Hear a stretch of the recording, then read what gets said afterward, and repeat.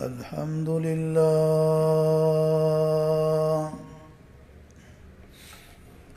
الحمد لله نحمده ونستعينه ونستغفره ونعوذ بالله من شرور أنفسنا ومن سيئات أعمالنا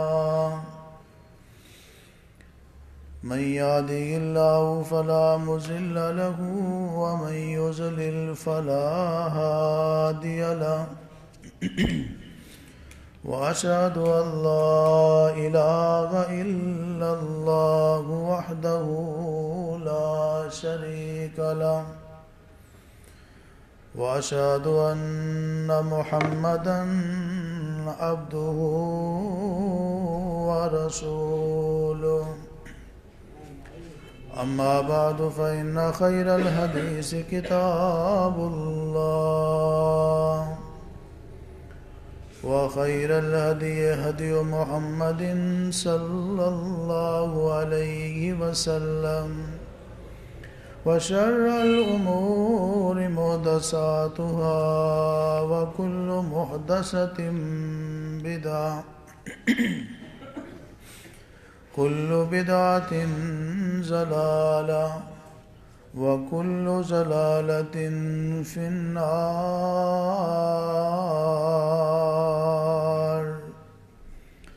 اللهم صل على محمد وعلى آل محمد.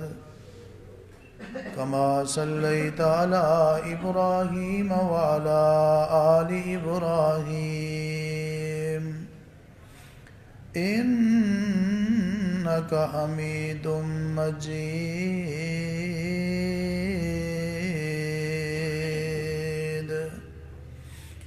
اللهم بارك على محمد وعلى آل محمد. كما باركت على إبراهيم وعلى آل إبراهيم. إنك حميد مجيد.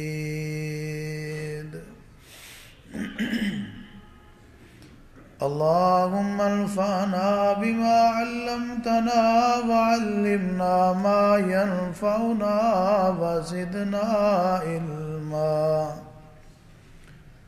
سبحانك لا علم لنا إلا ما علمتنا. إنك أنت العليم الحكيم. أعوذ بالله من الشيطان الرجيم. بسم الله الرحمن الرحيم.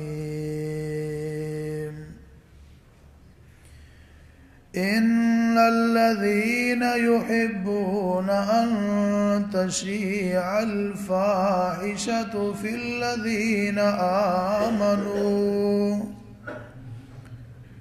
لهم عذاب أليم في الدنيا والآخرة والله يعلم وأنتم لا تعلمون. وقال الله تبارك وتعالى في مقام آخر توبوا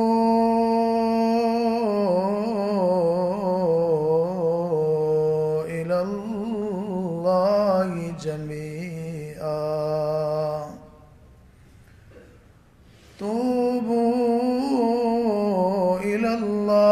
جميعا أيها المؤمنون لعلكم تفلحون.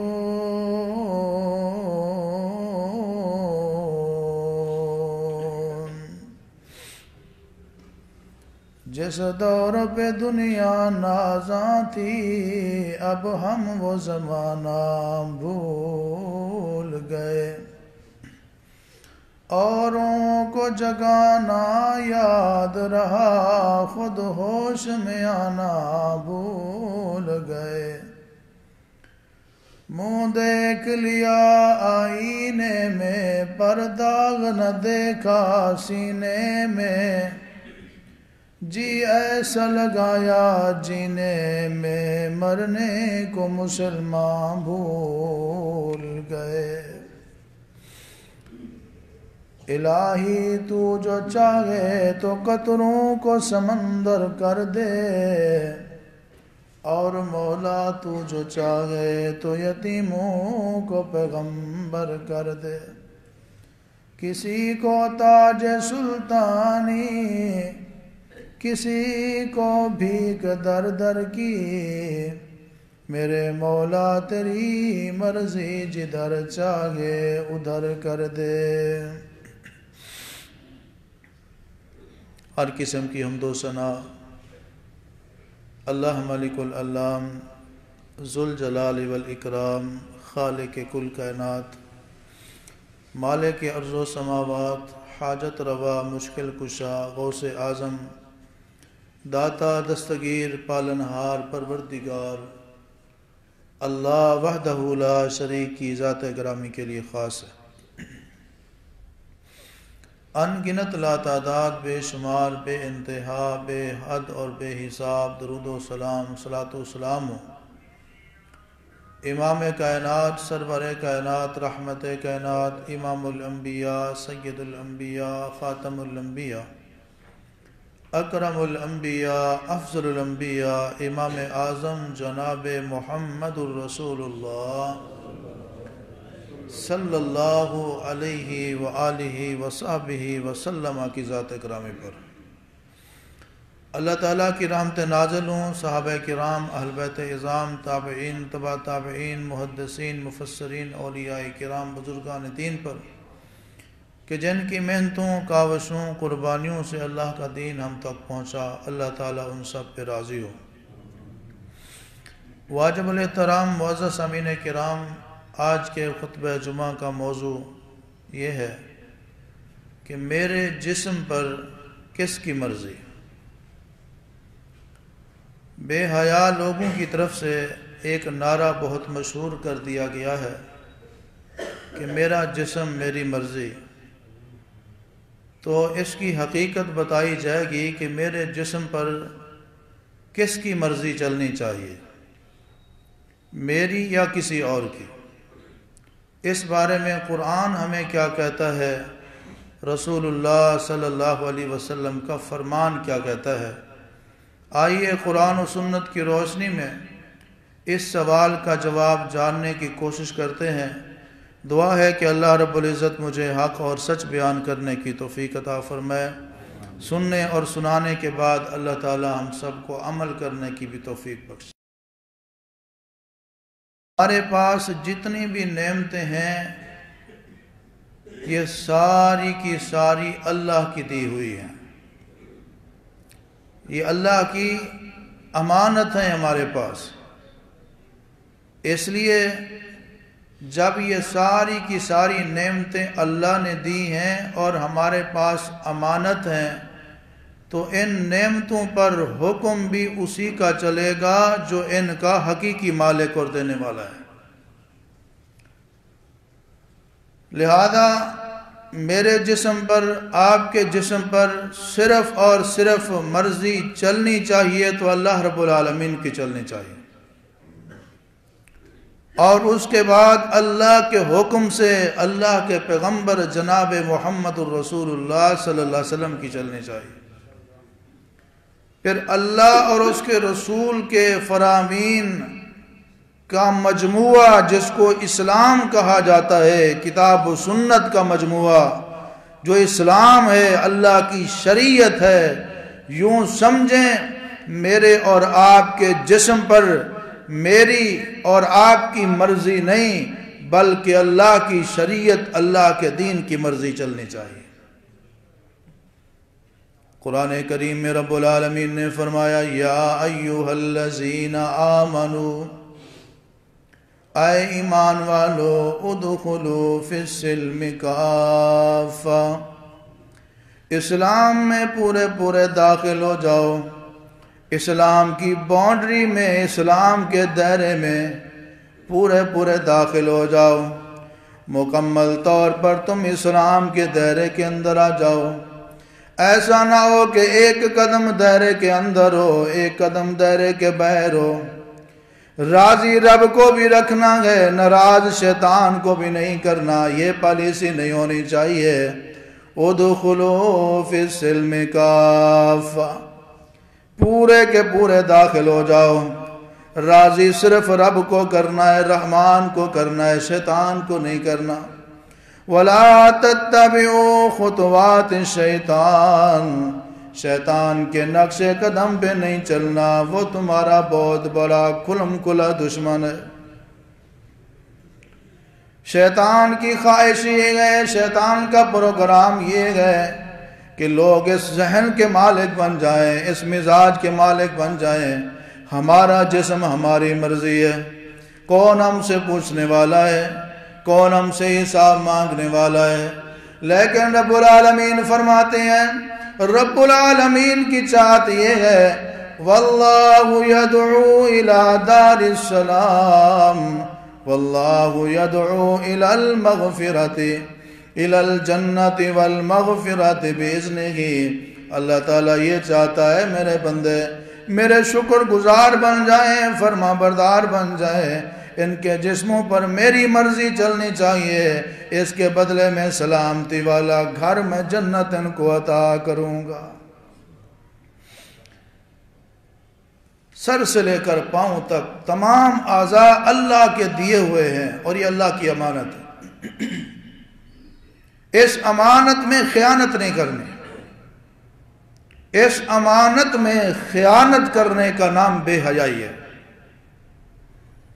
جب کوئی بندہ اسلام کے دائرے میں رہ کر، اسلام کی حدود میں رہ کر اللہ کی دی ہوئی نعمتوں کو استعمال کرتا ہے تو وہ باحیا ہوتا ہے۔ جیسے ہی اس حدود کو کراس کرنے کی کوشش کرتا ہے، اس کے جسمانی اعضاء آوارگی کا شکار ہو جاتے ہیں، وہ بندہ بے حیا ہو جاتا ہے۔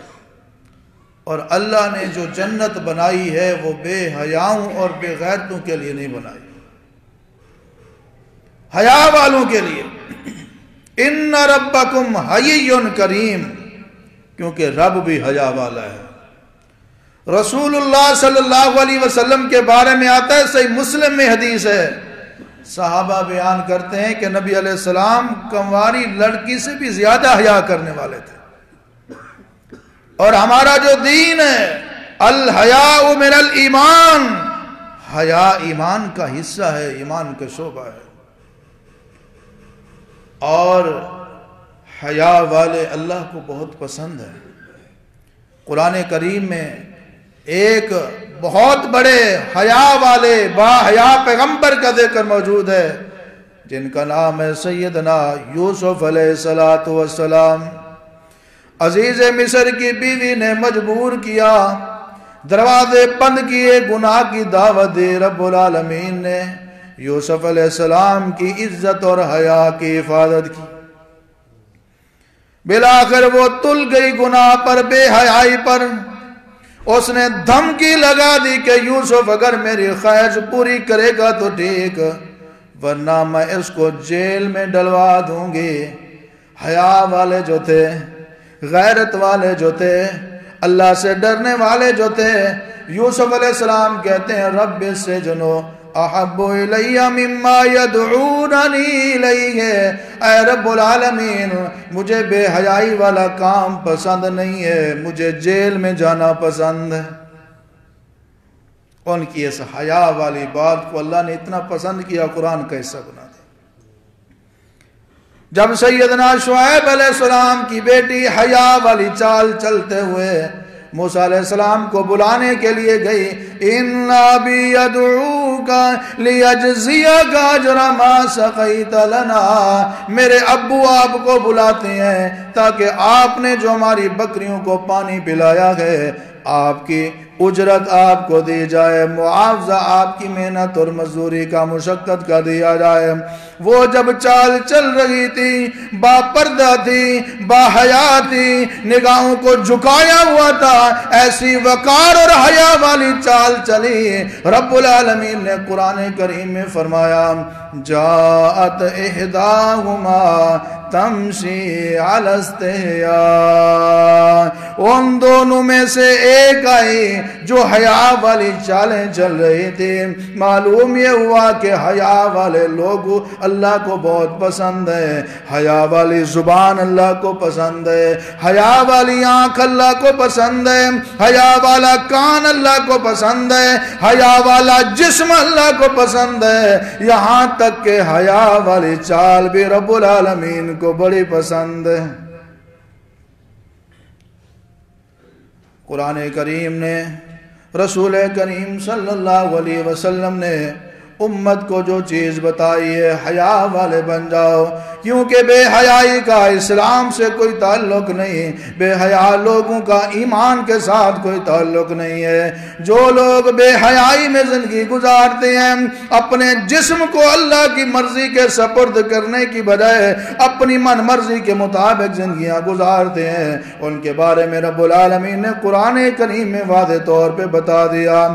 اما من خاف مقام ربه ونهى النفس عن الهوى فإن الجنة هي الماوى رب العالمین فرماتے ہیں، لوگوں جو قیامت کے دن اللہ کے سامنے پیش ہونے سے ڈر گیا، اللہ کے سامنے کھڑا ہونے سے ڈر گیا، رب کی عدالت کی پیشی سے ڈر گیا، اپنے نفس کو اپنی مرضی سے بچا لیا یہ نہیں کہتا تھا میرا جسم ہے میری مرضی، میری آنکھ ہے تو میری مرضی، میری زبان ہے تو میری مرضی، میرے کان ہے تو میری مرضی، میرے ہاتھ ہے تو میری مرضی، میرے پاؤں ہے تو میری مرضی، میرا دل و دماغ ہے تو میری مرضی وَنَحَنْ نفسان الہوا اپنی مرضی سے اپنے نفس کو بچا لیا۔ فَإِنَّ الْجَنَّةَ ہی الْمَاوَا رب العالمین فرماتے ہیں، سن لو، پکی بات ہے،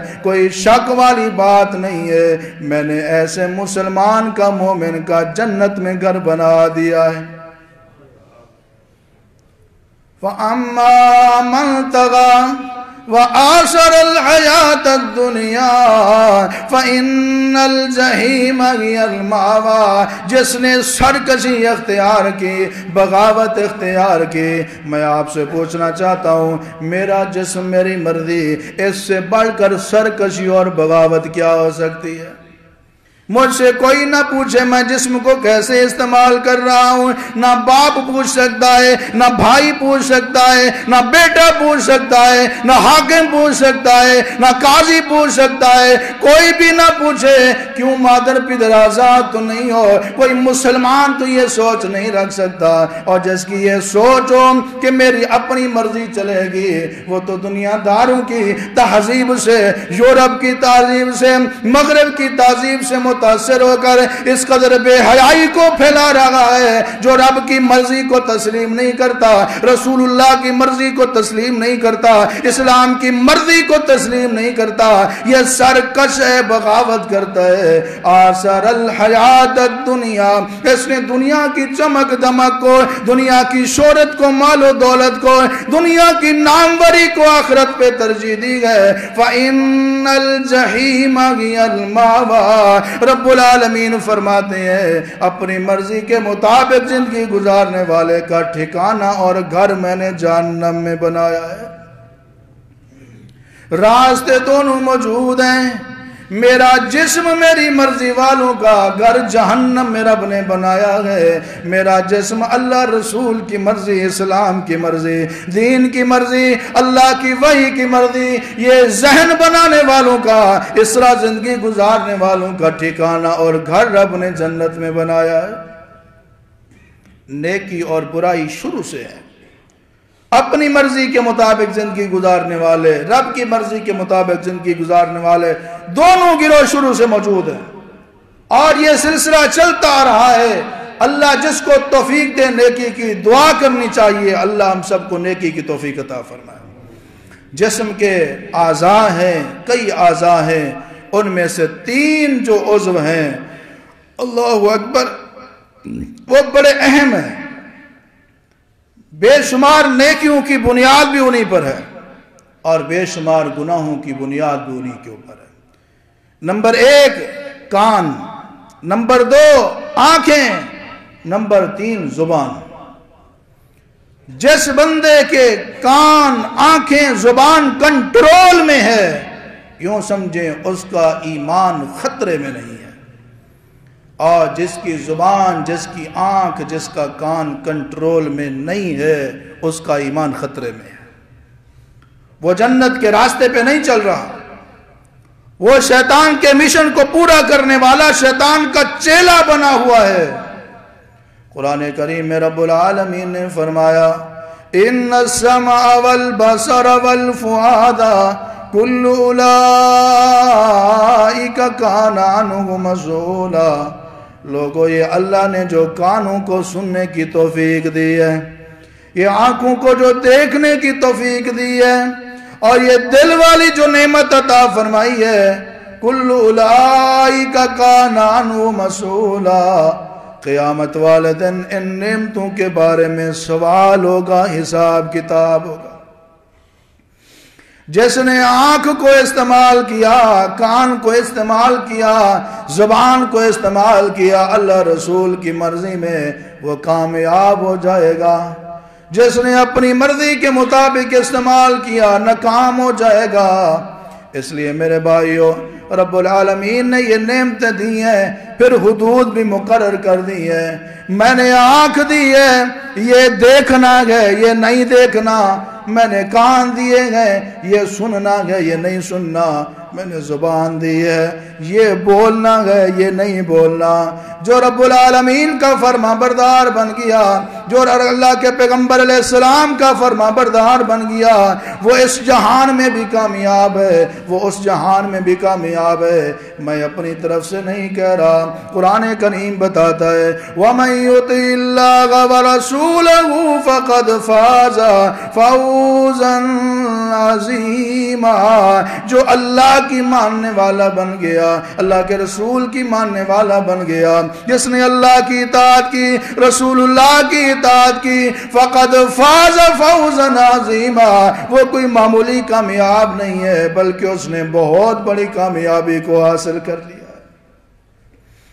اگر بندے کا کان، بندے کی آنکھیں، بندے کی زبان اسلام کے دائرے سے ہٹ جائے، وہ زبان، وہ کان، وہ آنکھیں آوارہ ہو جاتی ہیں، بے حیا ہو جاتی ہیں، پھر وہ بہت سارے بے حیائی کے، گناہ کے، نافرمانی کے، رب کی ناراضگی کے کام کرتی ہے۔ جب یہ حدود کے اندر رہے پھر گناہوں سے بچی رہتی ہیں، رب کی فرما بردار بن کے رہتی ہیں۔ آپ علیہ السلام نے فرمایا، آنکھیں بھی بدکاری کرتی ہیں، کان بھی بدکاری کرتے ہیں، زبان بھی بدکاری کرتی ہے، ہاتھ بھی بدکاری کرتے ہیں، پاؤں بھی بدکاری کرتے ہیں۔ پوچھا گیا، یا رسول اللہ صلی اللہ علیہ وسلم، ان کا زنا اور بدکاری کیا ہے؟ آپ علیہ السلام نے فرمایا نا محرم کو آنکھوں سے دیکھنا، یہ آنکھوں کی بدکاری ہے۔ حرام باتوں کو کانوں سے سننا یہ کانوں کی بدکاری ہے۔ گناہ کی طرف چل کے جانا یہ پاؤں کی بدکاری ہے۔ گناہ کی طرف ہاتھ کو بڑھانا نا محرم کو ہاتھ لگانا یہ ہاتھوں کی بدکاری ہے۔ بڑے افسوس کے ساتھ کہنا پڑتا ہے، میرے بھائیوں بڑے گناہ سے تو اکثر مسلمان بچے ہوئے ہیں۔ لیکن یہ آنکھوں والا گناہ، کانوں والا گناہ، زبان والی جو بد کرداری ہے، اس سے کوئی اللہ ماشاءاللہ بچا ہوا۔ ہو میں جب اپنے ماحول کو دیکھتا ہوں، اپنے معاشرے کو دیکھتا ہوں، مجھے نمازی بھی اس میں ملوث نظر آتے ہیں، مجھے حاجی بھی اس میں ملوث نظر آتے ہیں، مجھے قاری بھی اس میں ملوث نظر آتے ہیں، مجھے دیندار بھی اس میں ملوث نظر آتے ہیں۔ زبان کی حفاظت نہیں ہے، آنکھوں کی حفاظت نہیں ہے، کانوں کی حفاظت نہیں ہے۔ جس بندے نے زبان کی، آنکھ کی، کان کی حفاظت کر لی، یوں سمجھو اس نے اپنے ایمان کی اور جنت والے مکان کی حفاظت کر لی۔ اللہ اکبر اللہ رب العالمین نے حد مقرر کی ہے، صحیح بات سننی ہے۔ غلط نہیں سننا۔ وَإِذَا سَامِيُ اللَّغْوَ آرَزُوا عَنُهُ، جو ایمان والے ہیں، مومن ہیں، جب کوئی بہودہ بات سنتے ہیں، کانوں میں بہودہ بات پڑتی ہے، آرَزُوا عَنُهُ، منہ پھیر لیتے ہیں۔ اور آج کہتے ہیں، پھر لگاؤ اس کو۔ کوئی دوست بہودہ کوئی جگتے لگائے اور وہ اس کو آگے پیچھے کر کے یا اور لگا اور، سننے دے مجھے۔ اس طرح کا اور پروگرام سینڈ کرو مجھے۔ لیکن مومن جو ہیں وہ اپنے کانوں کی حفاظت کرتے ہیں۔ والذین ہمان اللغو معرضون۔ وہ مومن کامیاب ہیں جو لغویات سے بکواسات سے بہودہ باتوں سے جگتوں سے، گندے باتوں سے اعراض کرتے ہیں، منہ موڑ لیتے ہیں۔ اے میرے بھائی اور بہنوں، آج مسلمانوں کی حالت یہ ہے کہ اللہ اکبر کان آوارہ ہو گئے ہیں۔ گندی باتیں اچھی لگتی ہیں جگتیں اچھی لگتی ہیں۔ وہ کسی کی ماں بہن کو گالی دے رہا ہے۔ یہ یہ معزوز ہو رہا ہے۔ آج کا مسلمان جھوٹ کو پسند کرتا ہے۔ آج کا مسلمان جھوٹی بات کو، فرضی بات کو، بے حیائی کی بات کو سننا پسند کرتا ہے۔ آپ دیکھیں کہ مسلمانوں کی اکثریت ایسے لوگوں کی ہے جو بہودہ گندی لغو جگتے سننے کے عادی ہیں۔ ایمان کمزور ہو گیا کیونکہ کان آوارہ ہو گئے کانوں میں حیا نہ رہا کانوں میں جب حیا ہو، قرآن کریم بتاتا ہے، وَإِذَا سَمِعُوا ما أُنزِلَ إِلَى الرسول تَرَى أَعْيُنَهُمْ تَفِيضُ من الدمع مما عَرَفُوا من الحق. جب آنکھ میں حیات اللہ کا ڈر تھا قرآن بتاتا ہے، جب انہوں نے قرآن کی تلاوتیں سنیں۔ تفیض من الدم قرآن کی تلاوتیں سنانے کی دیر تھی سننے والوں کی حالت کیا تھی؟ ان کی آنکھوں سے زارو قطار آنسو بہنے لگ گئے۔ آج قرآن سنایا جائے، آنکھ نم نہیں ہوتی، دل نرم نہیں ہوتا، لیکن جگتیں سنائی جائیں، جھوٹی باتیں سنائی جائیں لغویات سنائی جائیں، ٹک ٹوک کے پروگرام سنائے جائیں، فیس بک کی فنی پروگرام سنائے جائیں، سٹیج ڈرامے دکھائے جائیں اور رات کو جو مزاق رات، ایمان کی برباد رات، فلاں فلاں بے حیا رات، جو رات کو بے حیائی میں، فحاشی میں اوریانی میں، بکواسات میں گزارنے کے، ٹائم پاس کرنے کے جو گندے بے خدا پروگرام چلے ہوئے اس میں جناب آر کے مسلمان کا بڑا دل لگتا ہے۔ وجہ یہی ہے کہ آکان جو ہے، آوارہ ہو گئے، کانوں میں حیا نہ رہا۔ دعا کریں مل کے اللہ ہمارے کانوں کانوں کو آوارگی سے محفوظ فرمائے۔ اللہ ہمارے کانوں سے ہاں اللہ ہمارے کانوں کو بے حیائی سے محفوظ فرمائے۔ وہ لوگ جن کو پتا تھا کہ اللہ کی نعمت ہے، اس کی قدر کرنی چاہیے۔ اللہ کو جواب دینا ہے۔ سیدنا عبداللہ بن عمر رضی اللہ تعالیٰ عنہ کے بارے میں آتا ہے۔ ان کے ساتھ نافع غلام چھوٹی عمر کا لڑکا موجود ہے، ان کے ساتھ سواری پہ بیٹھا ہوا ہے۔ صحیح بخاری کی حدیث ہے۔ راستے میں آواز آئی۔ کانوں میں آواز داخل ہوئی۔ عبداللہ بن عمر رضی اللہ تعالیٰ نے غور کیا۔ وہ آواز ایک بانسری بچانے والے کی تھی۔ ڈھول نہیں تھا۔ تبلے سرنگیاں نہیں تھی گانا موسیقی نہیں تھا۔ انڈین گانے نہیں تھے، پنجابی گانے نہیں تھے۔ بےحودہ بکواس سار سے بھرے ہوئے بےحودگی اور فحاشی اور یعنی والے گانے نہیں تھے۔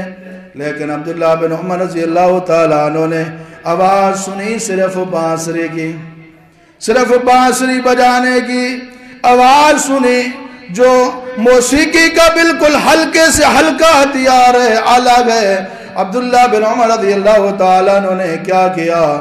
فوراً اپنے کانوں کے اندر انگلیاں ڈال لی کیونکہ بچہ تھا، وہ مکلف نہیں تھا۔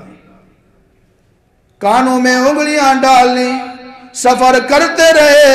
امام نافع رحمت اللہ علیہ فرماتے ہیں، میں بچہ تھا۔ بار بار عبداللہ بن عمر کہتے اے نافع مجھے بتاؤ بانسری کی آواز کہیں، آ تو نہیں رہی میں بتاتا رہا، اب بھی آ رہی ہے، اب بھی آ رہی ہے۔ جب میں نے کہا، اے اسا جی عبداللہ بن عمر بانسری کی آواز اب نہیں آ رہی۔ عبداللہ بن عمر رضی اللہ تعالی عنہ نے تب اپنے کانوں سے انگلیوں کو ہٹا دیا۔ یہ وہ لوگ ہیں جن کے کانوں میں حیا تھا، جن کے کانوں پر رب کی مرضی چلتی تھی۔ رب کے رسول کی مرضی چلتی تھی، اللہ کی شریعت کی مرضی چلتی تھی۔ اور آج جب کانوں میں حیا نہیں ہے، کان آوارہ ہو گئے ہیں، تو چوبیس گھنٹے کان میں وہ ٹوٹی لگائی ہوئی ہے۔ گانے سن رہے ہیں، موسیقی سن رہے ہیں، ڈرائیونگ ہو رہی ہے، تو کان میں ہیڈ فون لگا ہوا ہے۔ سو رہی ہیں تو لگا ہوا ہے۔ یہ جی گانے، کوئی کون سا گانا پسند کرتا ہے؟ یہ میں فیورٹ سونگ سن رہا ہوں۔ اللہ اکبر ومن الناس من يشتري لعب الحدیث لیضل عن سبیل اللہ رب العالمین نے فرمایا وہ بندہ جو قرآن کے مقابلے میں بہودہ لعب چیزیں گانا بجانا موسیقی کو خرید کرتا ہے اس کے بارے میں فرمایا عذاب معین ایسے لوگوں کے لیے رب العالمین نے دردناک عذاب تیار کر رکھا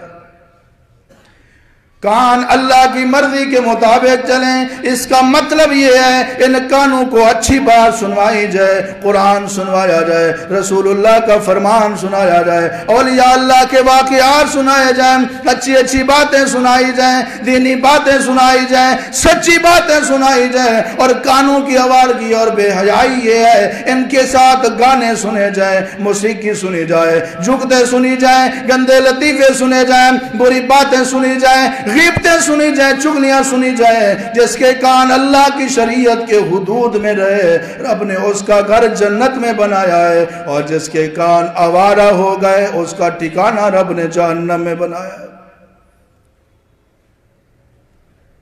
میرے کان کس کی مرضی؟ اللہ کی مرضی۔ آپ کے کان کس کی مرضی؟ کیونکہ ہم اپنی مرضی سے دنیا میں آئے نہیں ہیں۔ اپنی مرضی سے ہم نے اپنے ماں باپ نہیں بنائے، اپنی مرضی سے بہن بھائی نہیں بنائے، اپنی مرضی سے اپنے کان نہیں سیٹ کروائے، اپنی مرضی سے اپنی آنکھیں سیٹ نہیں کروائی اپنی مرضی سے جسم کی آدھا نہیں بنوائے۔ جب ہماری مرضی اس کے بنانے میں نہیں ہے، پھر ان کے استعمال کرنے میں بھی نہیں ہونی چاہیے۔ ان کو بنانے والا بھی اللہ گئے ان پر مرضی بھی اللہ رب العالمین کی چلنی چاہیے۔ اللہ ہم سب کو شریعت کی حدود میں رہ کر کانوں کو صحیح استعمال کرنے کی توفیق عطا فرمائے۔ دوسری چیز، آنکھوں کا استعمال۔ آنکھوں کا استعمال بھی اللہ نے حدود مقرر کی ہیں۔ یہ دیکھنا ہے، یہ نہیں دیکھنا۔ اس کی طرف نظر کرنی ہے، اس کی طرف نظر نہیں کرنی۔ جو شریعت کی حدود میں رہے گا، وہ کامیاب ہے۔ جو شریعت کی حدود سے باہر نکلے گا، اللہ اکبر وہ ناکام ہے، نامراد ہے، خسارہ اٹھانے والا ہے۔ رسول اللہ صلی اللہ علیہ وسلم نے مختلف انداز میں آنکھوں کی حفاظت کے بارے میں فرمایا کہ اگر کسی نامحرم عورت کے اوپر اچانک اچانک نگاہ پڑ جائے، اس کو فوراً پھیر لے، اس کو بار بار نہیں دیکھنا، لگاتار نہیں دیکھنا۔ قرآن کریم نے آنکھوں کی حفاظت کا اصول، مرد کو بھی دیا، عورت کو بھی دیا۔ کل المومنین یغضوا من ابصارهم ويحفظوا فروجهم۔ رب العالمین فرماتے ہیں، ایمان والو، تمام مومنات تمام مومن مردوں کو میرے پیارے نبی صلی اللہ علیہ وسلم، آپ فرما دیجیے، یغضوا من ابصارهم۔ جب گھر سے باہر نکلتے ہیں، اپنی نگاہوں کو نیچا رکھیں، نگاہوں کو نظروں کو جھکا کے رکھیں۔ آج کا مسلمان جھکانے کی وجہ بجائے بار بار دیکھنے کی خواہش رکھتا ہے۔ میں نے کئی لوگوں کو دیکھا، کوئی سیکل چلانے والوں کو دیکھا، کوئی موٹر سیکل چلانے والوں کو دیکھا۔ لوگوں کو بد نظری کی وجہ سے گاڑی سے گرنا پسند ہے، ایکسیڈنٹ ہوتے دیکھے بد نظری کی وجہ سے، نظر کی آوارگی کی وجہ سے۔ میں نے بڑے بڑی عمر کے لوگوں کو بھی دیکھا، اگر ان کی نگاہ پڑ گئی نامحرم کے اوپر مڑ مڑ کے دیکھ رہے ہوتے۔ شریعت کیا کہتی ہے؟ نظروں کو جھکاؤ۔ رسول کریم صلی اللہ علیہ وسلم کے پاس ایک بندہ آیا۔ آپ علیہ السلام نے فرمایا کہ میں کہتا ہوں چھے کام کرنا تمہاری ذمہ داری ہے۔ جنت میں رب العالمین آپ کا گھر بنا دیں، یہ میں گرنٹی دیتا ہوں۔ اس میں پہلے نمبر پہ فرمایا، عزو ابسارکم غزو ابسارکم اپنی نگاہوں کو نیچا رکھو۔ اس کے بدلے میں اللہ جنت کی نعمتیں عطا فرمائے گا۔ قل للمومنات یغضضن من ابصارهن اے میرے محبوب، مومنہ عورتوں کو، ایمان والی عورتوں کو، خواتین کو بھی فرما دیجیے۔ وہ اپنی نگاہوں کو نیچا رکھیں، نگاہیں جھکا کے چلیں۔ ہمارے ماحول میں، معاشرے میں کتنی خواتین جو نماز کی پابند ہیں، روزے کی پابند ہیں، پردہ کیا ہوتا ہے، برقع پہنا ہوتا ہے، لیکن وہ آنکھیں الو کی طرح گھما رہی ہوتی ہیں۔ کبھی دائیں، کبھی بائیں، کبھی کسی مرد کو، کبھی کسی مرد کو۔ اللہ اکبر ایسے پردے کا فائدہ نہیں، ایسی نمازوں کا فائدہ نہیں، ایسی عبادتوں کا فائدہ نہیں۔ عورت بغیر مجبوری کے گھر سے پہر نہ نکلے، یا اللہ کا حکم ہے، وَقَرْنَ فِي بُيُوتِكُنَّ وَلَا تَبَرَّجْنَ تَبَرُّجَ الْجَاهِلِيَّةِ الْأُولَى۔ اللہ نے حکم دیا نبی کی بیویوں، ازواج متحرات، پوری کائنات کی عورتوں سے سب سے زیادہ پاکیزہ عورتیں، سب سے زیادہ حیا والی عورتوں کو حکم دیا کہ گھر میں ٹکی رہو۔ آج یہ جلوس نکال رہی ہیں، احتجاج کر رہی ہیں، یہ عورت مار ہے اور جناب بورڈ، سائن بورڈ بورڈ لگائے ہوئے ہیں، کتبے اٹھائے ہوئے ہیں۔ جی پتہ نہیں کیا کیا اس کے اوپر بہود کی لکھی جاتی ہے۔ اللہ کا قرآن تو نبی کی بیویوں کو بھی گھر سے نکلنے کی اجازت نہیں دیتا۔ اور اگر گھر سے باہر نکلنا ہے تو پھر یہ تعلیم دی گئی ہے کہ پردہ کر کے نکلنا ہے، جسم کو چھپا کے نکلنا ہے، نگاہوں کو بچا کے نکلنا ہے اور اپنی نظروں کو جھکا کے نکلنا ہے۔ کل المومناتی یغضضن من ابصارهن۔ میرے محبوب، آپ ایمان والی عورتوں کو بھی کہیں اپنی نگاہوں کو نیچے رکھیں، جھکا کے رکھیں۔ یحفظن فروجهن اپنی عزت کی، اپنی حیا کی، اپنی آبرو کی حفاظت کریں۔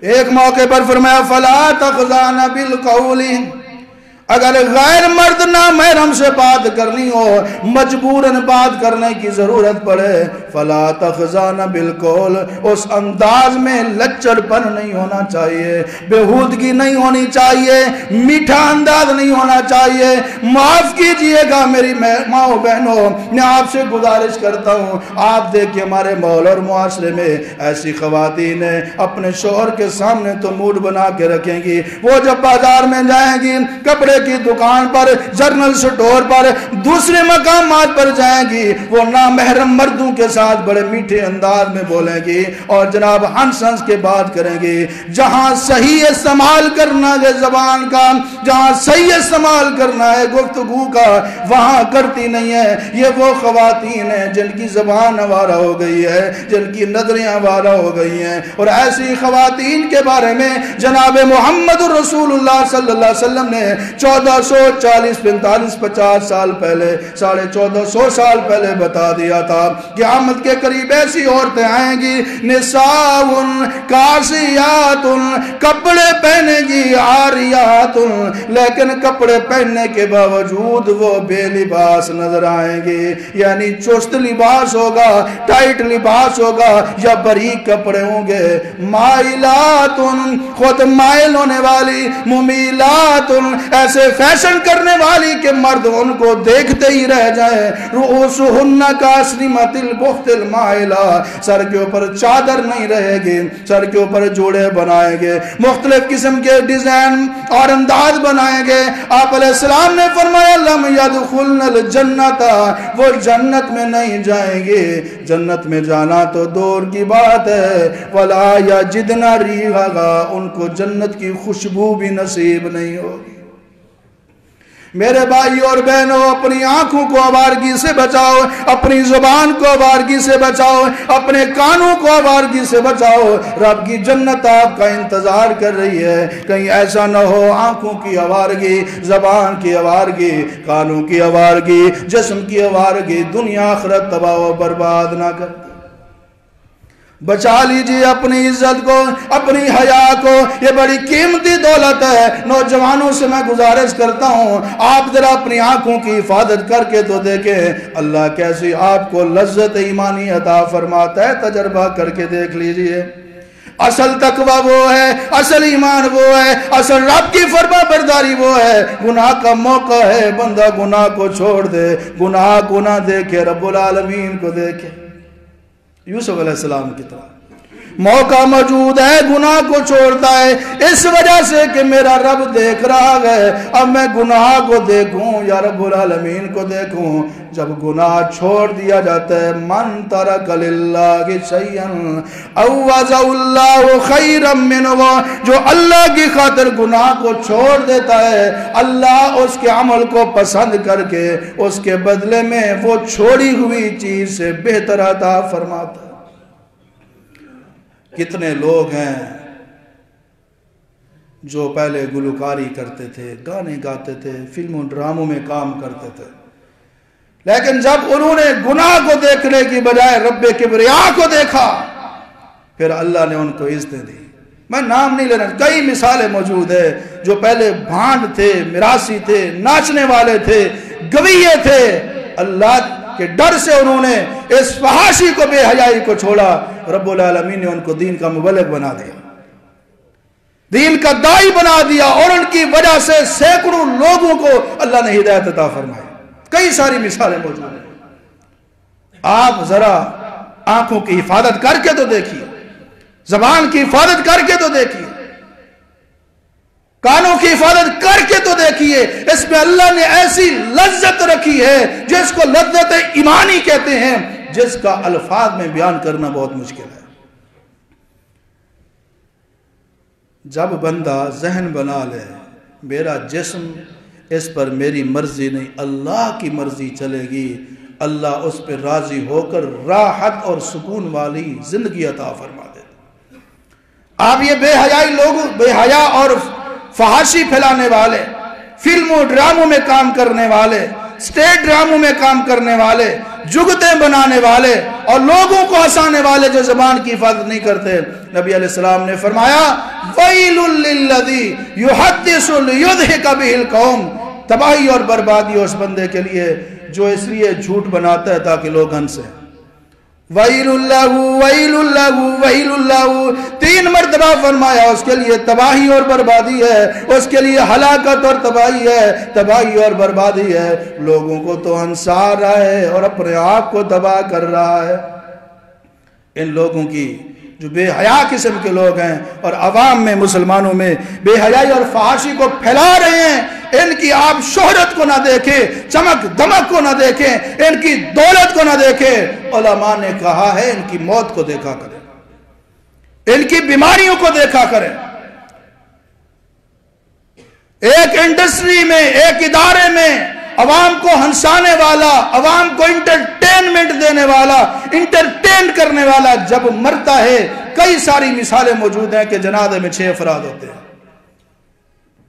کسی کو فالج ہو جاتا ہے، کسی کی زبان بہرا جاتی ہے، کسی کا چہرہ بگڑ جاتے ہے اس لیے عما نے کہا، ان بے حیا لوگوں کی شہرت، مال، دولت سے اور ان کی چمک دمک سے متاثر نہ ہوں۔ دیکھنا ہے تو ان کی موت دیکھا کرے اور یہ موت اور دنیا میں آخری عمر میں ان کی ذلت اور رسوائی کا عالم دیکھا کرے اور یہ ذلیل اور رسوا کیوں نہ ہوں کہ قرآن کا فیصلہ ہے۔ ان الذين يحبون ان تشيع الفاحشه في الذين امنوا رب العالمین نے فرمایا، جو لوگوں میں، ایمان والوں میں، مسلمانوں میں بے حیائی کو پھیلانا چاہتے ہیں، لهم عذاب الیم فی الدنیا مرنے سے پہلے پہلے رب العالمین ان کو دردناک عذاب چکھائے گا۔ اور آخرت میں تو ان کے لیے بڑے عذاب ہیں، بڑے عذاب ہیں۔ واللہ یعلم وانتم لا تعلمون۔ آج اپنے باپ سے اپنی بے حیائی، گندے کاموں کو، گناہوں کو چھپانے کے لیے پاسورڈ لگا سکتا ہے اور لاکھ لگا سکتا ہے۔ رشتہ داروں سے تو لاکھ لگا سکتا ہے، باپ سے، بھائی سے، استاد سے تو لاکھ لگا سکتا ہے۔ لیکن تیرے کرتوت اور اعمال رب کے تو سامنے ہیں، تو رب کے سامنے ان کو کیسے لاکھ لگائے؟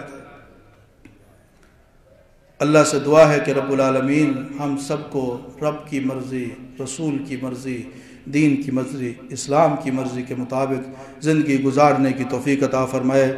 ہر قسم کی بے حیائی سے، فحاشی سے اور بے حیائی اور فحاشی کو، گناہوں کو آوارگی کو پھیلانے سے اللہ تعالیٰ ہم سب کو محفوظ فرمائے۔ شریعت کی حدود میں دائرے میں رہ کر سچا پکا مسلمان بن کر اللہ ہم سب کو زندگی گزارنے کی توفیق دے۔ وآخر دعوانا الحمدللہ رب العالمين